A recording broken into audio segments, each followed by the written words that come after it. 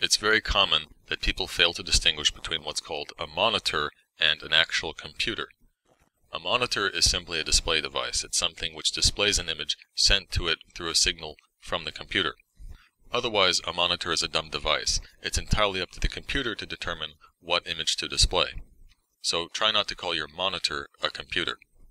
Confusingly, however, there are examples where a monitor and a computer are housed together in one unit. Like, for example, Apple sells a line of computers called iMacs.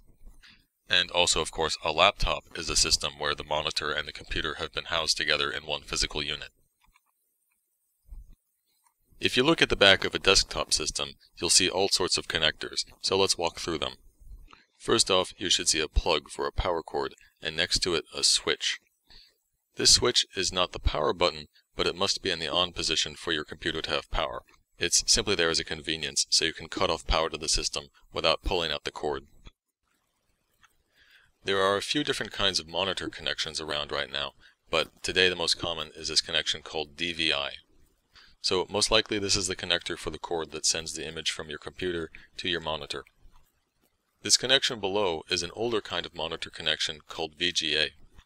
VGA is still around but being phased out, so it's an example of what we call a legacy technology. On this particular computer, we happen to have outputs to send an image to a television. You probably recognize these from the back of televisions, VCRs, and DVD players. The one on top is called Composite, and the one on the bottom is called S-Video. And actually, these are also examples of legacy technologies. They're being phased out in, in favor of newer standards, like, for example, HDMI. These two other connectors kind of look like S-Video, but they actually have nothing to do with video. These are called PS2, and they're an old standard for connecting mice and keyboards uh, introduced in the 80s. Most computers still have them, though they're hardly used anymore. The five plugs to the left here are mic jacks. Mic jack is used for audio, and in fact it's the same connector used for most headphones. The reason there's more than one is because two of these are input, like say for recording audio from a microphone, and the rest are for output. Only one output is needed for stereo, but for surround sound you need all three. This connector on the right, which looks like an oversized phone jack, is for Ethernet, which is the most common connection for wired networking. Most commonly, this is the port you use to get an internet connection. Finally, your computer should have some number of USB ports. Most computers have at least four, they're usually more like six or eight and sometimes they have some USB ports not just in the back, but also in the front. USB stands for Universal Serial Bus. It's universal in the sense that it's a connector for all sorts of different devices. Pretty much everything these days uses USB. In fact, the only thing which I can think of which isn't ever connected with USB is a monitor. Monitors require too much data to send over USB, so they have their own special connectors. But aside from that, pretty much everything else can use USB. In fact, even say speakers, which normally you would plug in via mic jacks, you can get speakers which connect via USB. And also for networking, rather than using Ethernet, it's possible to use USB. Now, not only is USB designed to be pretty much universal, it has a few neat features, like say, power can be supplied over USB cables. So in fact, many small devices can be charged by connecting them via USB to a computer. Like for example, that's how I charge my cell phone. Another neat feature of USB is that it's designed to be hot pluggable. Hot pluggable means that you can connect things and disconnect things while the system is actually running. With some other connection types, you're not allowed to do that, or at least it's considered a bad idea. And so, inconveniently, you have to turn off the system to connect or disconnect things. USB makes that unnecessary.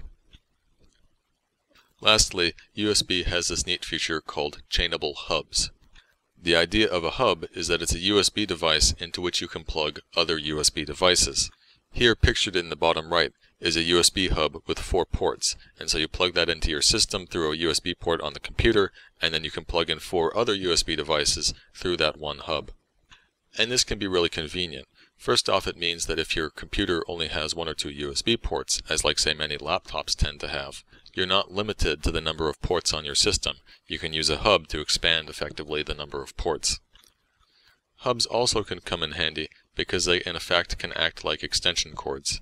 So for example, if say the cords of your mouse and keyboard aren't quite comfortably reaching your computer system, you can solve the problem by using a hub. In fact, it's very common for monitors to have a USB hub built in. So you will have a USB connection running from your computer to your monitor, and then on the side of your monitor you'll have some number of USB ports into which you can plug any device in, like your keyboard or mouse.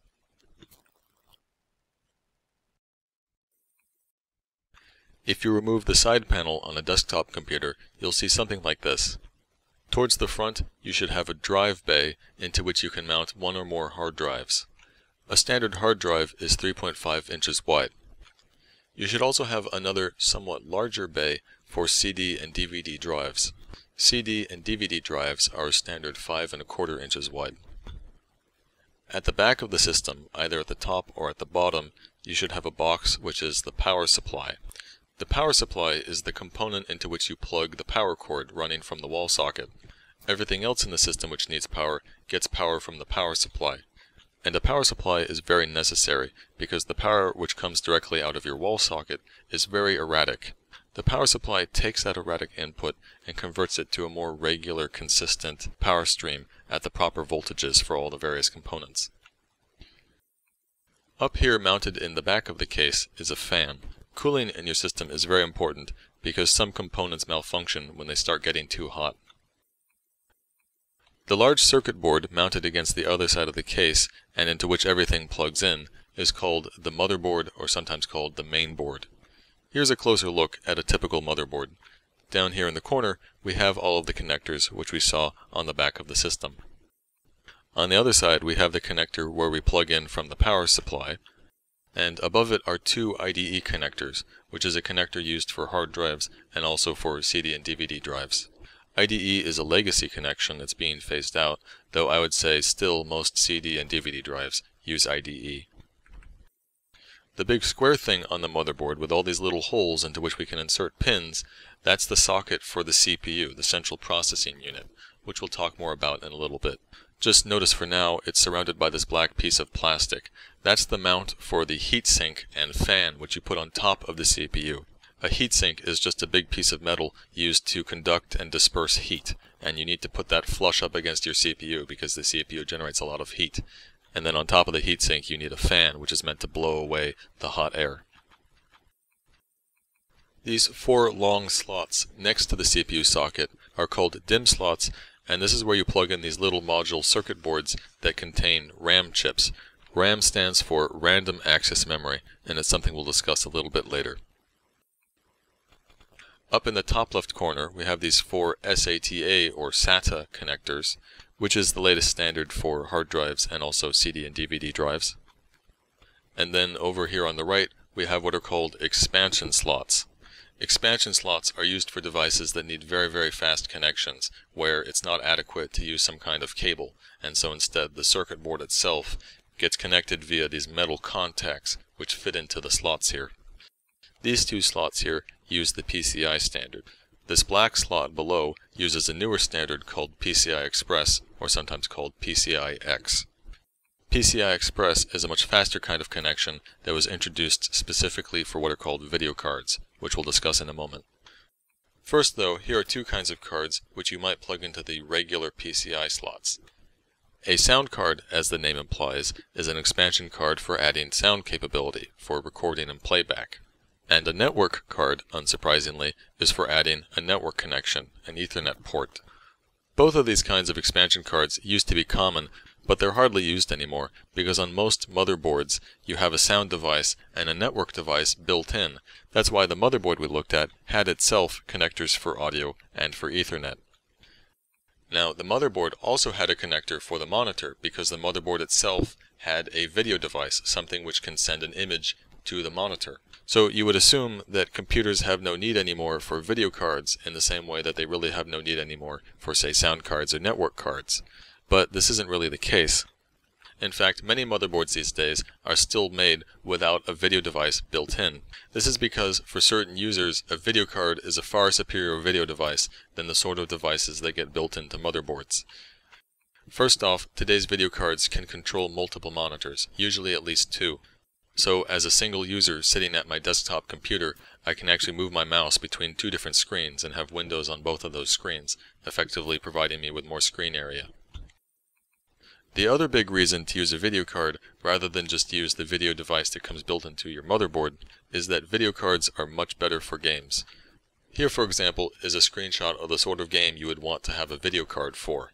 The scene being rendered here is a complex three-dimensional world being rendered in real time. In fact, a new image has to be generated by the game, hopefully at least 30 times per second, though hopefully more like 60 times per second and the generation of these images involves a lot of math having to do with geometry, and that requires a lot of computation power. In most programs, the computation, as we'll discuss, is handled entirely by the CPU, the central processing unit. But in the case of games with 3D graphics, a lot of the computation is offloaded to the video card.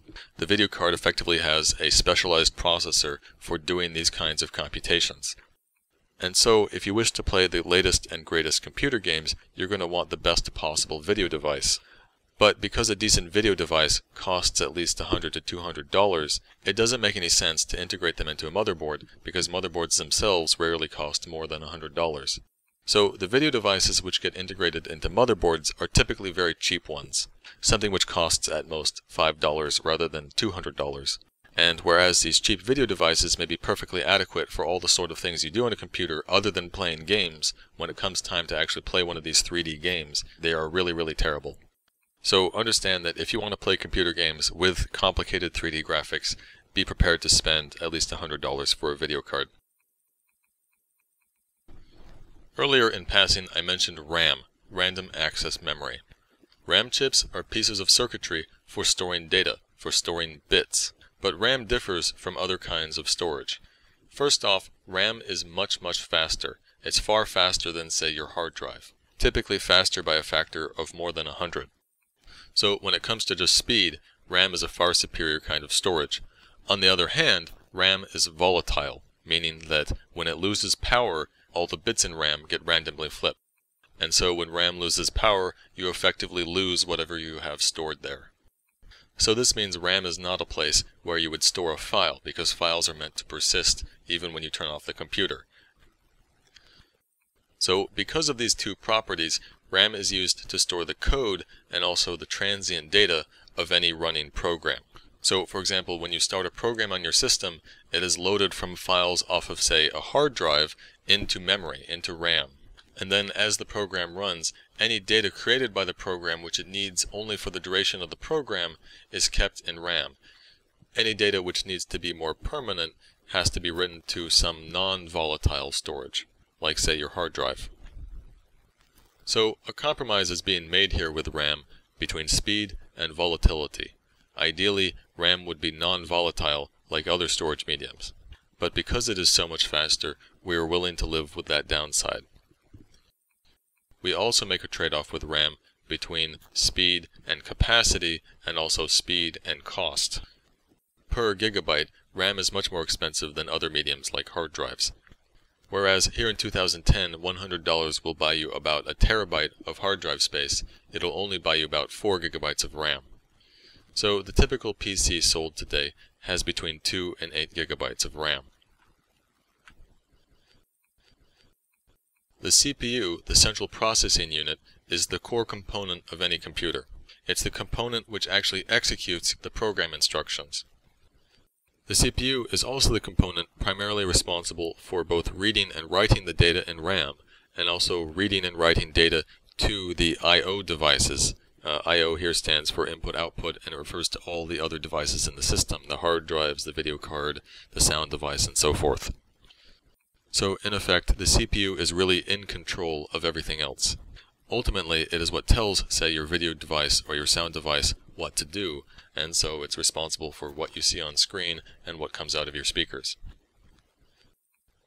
The CPUs used in PCs today are all part of the x86 family of processors. And they're made by three different companies, mostly by Intel, but also by their nearest competitor AMD, and in distant third place, VIA. There are many, many different actual models of x86 processors, but what makes them all x86 processors is that they understand and can execute the same set of instructions. So a program written to run on an x86 processor should run on any x86 processor, no matter which company makes it.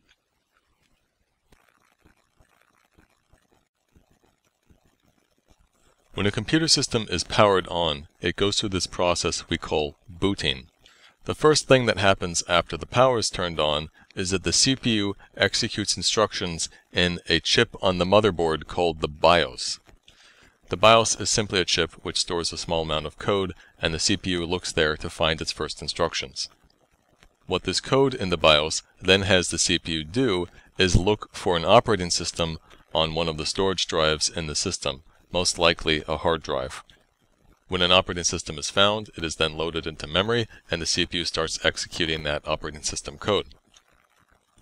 Now, after powering on the system, the first thing you should see is this screen drawn by the BIOS. And typically there's a message at the bottom or at the top that tells you you can hit a certain key on the keyboard, like say F2 in this example, and that will take you to the BIOS's configuration menu, where you can configure some basic options in your system most importantly, you can tell the BIOS which drives it should look at when it tries to find an operating system, and very importantly, tell it which devices it should look at first. Because you might have different operating systems installed on different drives, and you want to be able to control which operating system actually gets loaded. So you may be wondering, what if I don't have an operating system installed on any of my storage drives? Well, this for example is how you would install Windows you would insert the Windows install disk, a DVD usually, into your DVD drive, and then you would boot from that DVD drive, meaning you would make sure in your BIOS that it is configured to try and find an operating system first from your DVD drive. Because the installation disk contains sort of like a mini operating system, which is just for the purpose of installing Windows. So your system boots from that DVD, the Windows installer loads, and then it asks you to enter a few settings like specify which keyboard you want to use, and a few other questions like most importantly, which drive do you want to install Windows on? And then once you're done entering these settings, the actual installation takes place, all the necessary files are copied onto the destination drive, and then once that's done, your system will restart and it's now ready to boot from the drive onto which you installed Windows. So if you boot the system from that drive, Windows will load for the first time. Maybe it has to do a bit more business to finish the installation process, uh, but after that's done, then you'll be ready to go. So as long as nothing goes wrong, the whole process is really fairly simple. And it's usually no more complicated these days to install other operating systems, like say Linux. Now, the operating system is ultimately the piece of code responsible for talking to all of the particular hardware devices in your system, programs themselves, like say Microsoft Word, do not directly talk to like your hard drive. What's really going on there is that Microsoft Word, when it say wants to write a file, is it makes a request to the operating system, to Windows. It says, I want to write this file, and then Windows is responsible for actually writing the file onto the disk. So all the rights and responsibilities of controlling the hardware is left up to the operating system. One problem, however, is that there's an enormous variety of different hardware devices out there. And to control these devices, the operating system has to speak to each device in its own particular way. So for example, the way an operating system needs to talk to one make of video card is not the same as it needs to talk to some other make of video card. So the code which an operating system needs to use to talk to a particular device has to be unique for that device. And there are so many devices out there, it's not actually practical for, say, Microsoft to be responsible for supporting all of those different devices. Instead, it's very often left up to the manufacturer of a device to create that code. And these pieces of code which control particular devices are called drivers.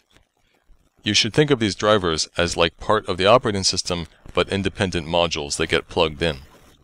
And so say when Windows is installed on your machine, one of the most important things it does in that installation process is try and detect what hardware devices you have and make sure that all of the drivers are there for those devices. The problem with this is that new devices are being released all the time and the drivers for existing devices often get updated so as to fix bugs. So even once Windows is installed and running, we still need the ability to upgrade and install new drivers and this can typically be done just like installing a program. Device manufacturers make their latest drivers available on the internet so users can download and install them.